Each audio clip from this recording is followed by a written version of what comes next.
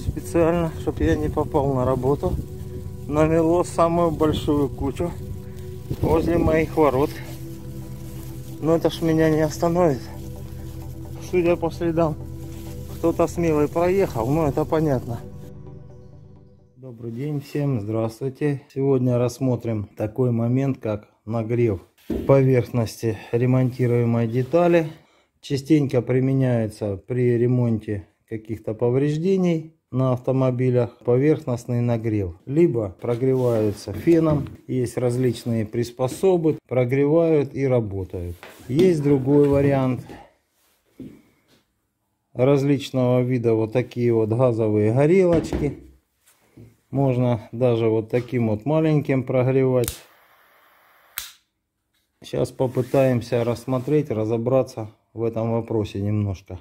Для того, чтобы визуально видеть, как прогревается металл и что при этом происходит, я буду использовать вот такую вот накладочку на лампу, так называемую тельняшку, и мы будем визуально видеть, что происходит с нашим металлом при нагреве. Для чего применяется нагрев? Для того, чтобы прогреть металл, чтобы он стал немножко мягче, пластичнее, Другой момент, чтобы а, лакокрасочное покрытие не трескалось, не лопалось, не лопался лак. Потому что на холодную лак более жесткий и он может треснуть. Естественно, это уже дефект в работе. Поэтому, чтобы этого избежать, прогревают. Давайте теперь посмотрим. Есть у нас для этой цели пирометр. Поверхность у нас где-то 20 градусов. Поехали.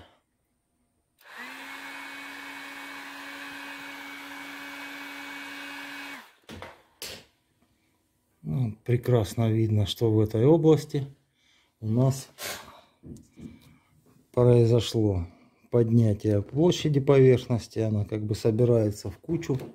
Сейчас вот замеряем температурку 92 градуса. Ну, грубо до 100 градусов нагрели. Теперь попробуем горелкой.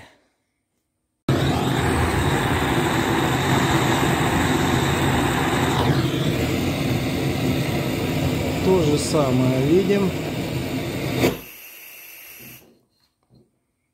Металл у нас съежился вот так в кучку и линии сошлись. Берем вот такую вот горелочку, другое место.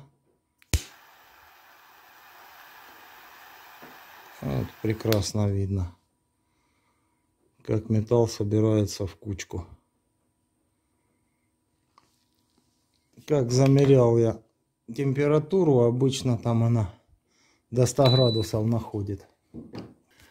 Но тут встает другой момент. Если мы начинаем долго и упорно греть, особенно вот таким вот острым пламенем, что у нас получается? Вот мы греем, греем, греем. Металл у нас сходится.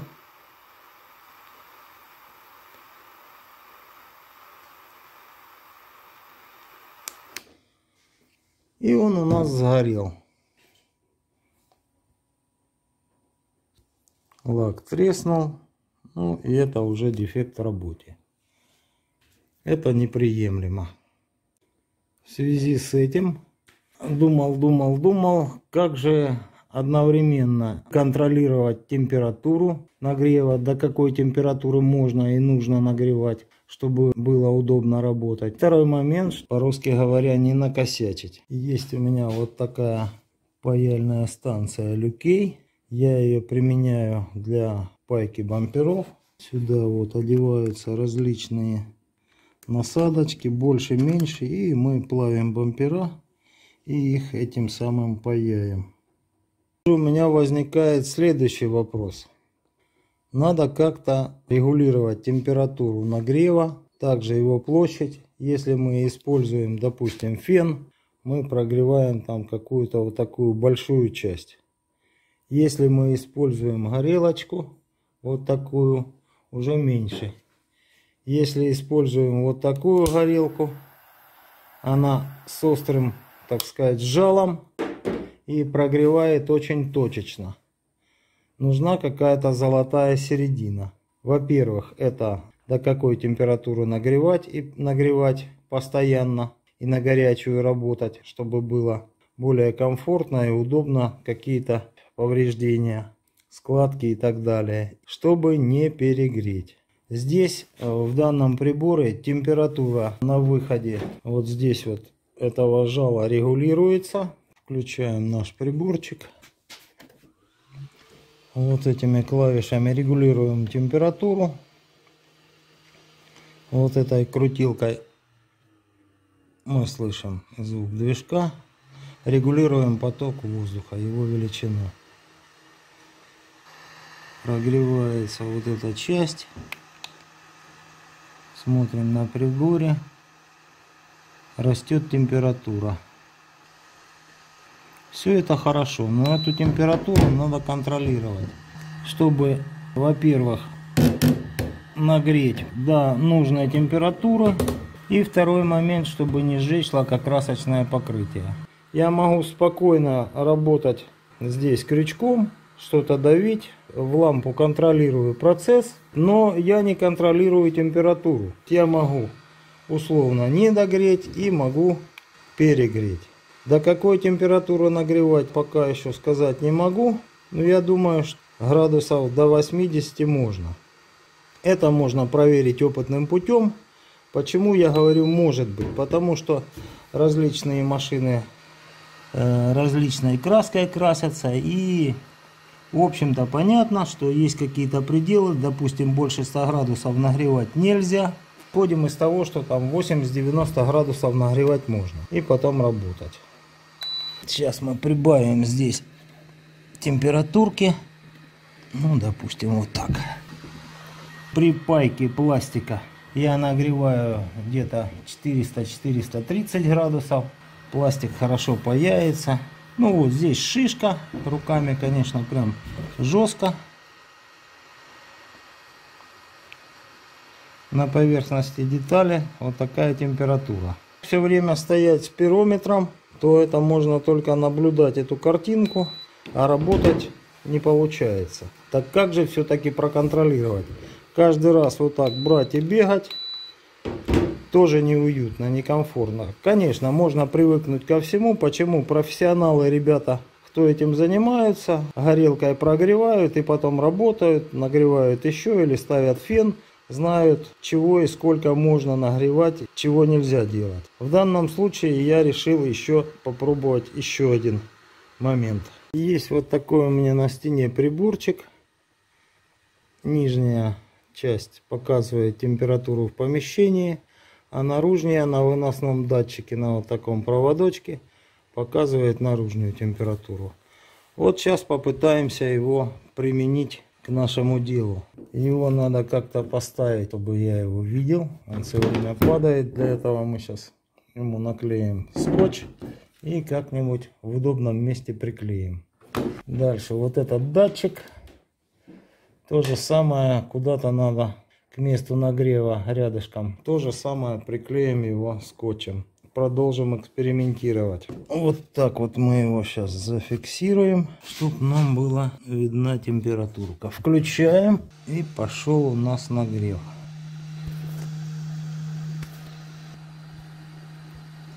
Температурка у нас растет.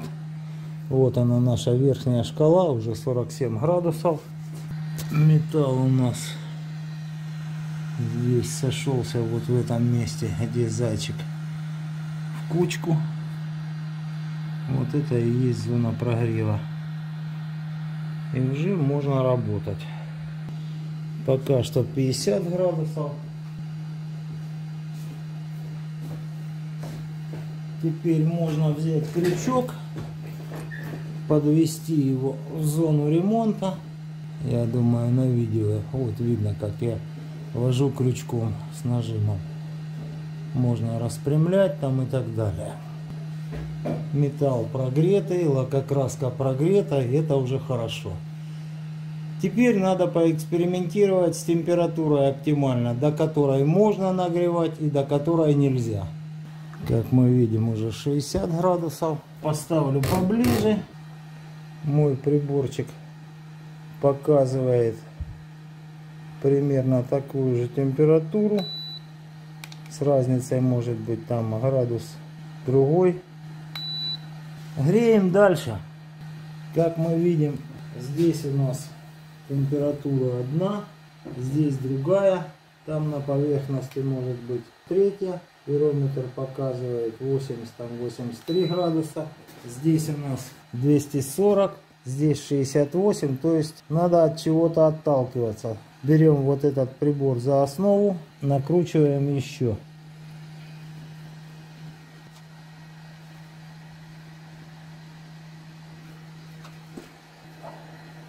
Да, тут горячо. Температура у нас 90 градусов возле датчика. Металл у нас уже встал волной. Вполне возможно, что нет смысла прогревать до такой температуры большой. Все вот эти моменты, они экспериментальным путем выясняются. Вот уже 93, 94 градуса считай. Лакокраска при этом остается у нас целой. Металл поднялся кучку.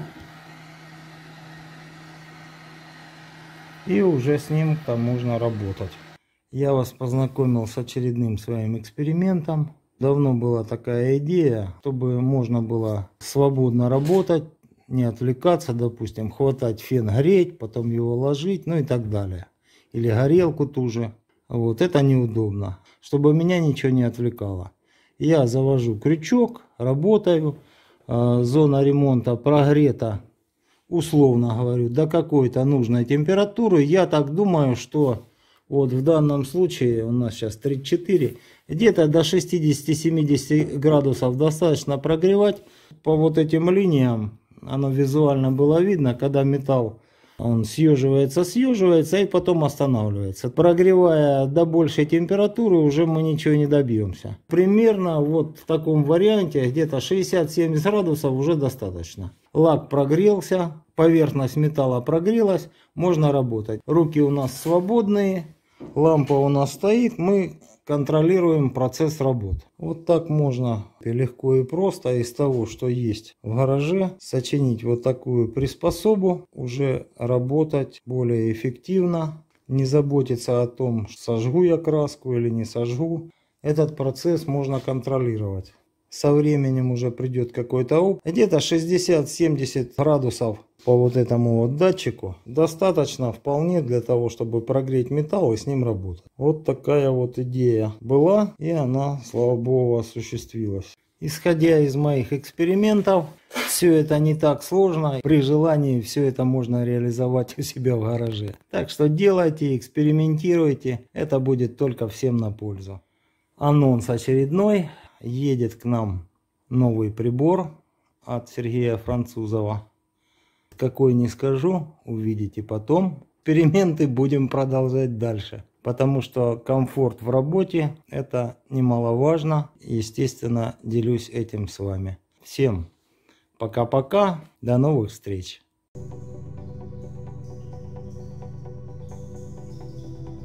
В качестве примера постарался настроить, чтобы было видно, как это все происходит. Включил я приборчик свой.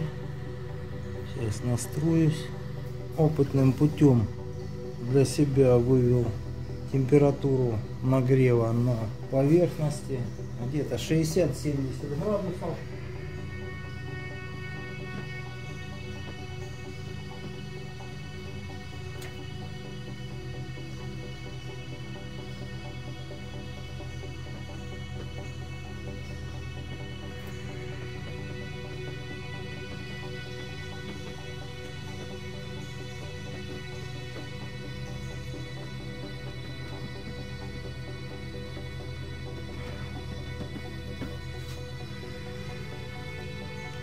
Сейчас нужно, нужно это пробить чуть-чуть.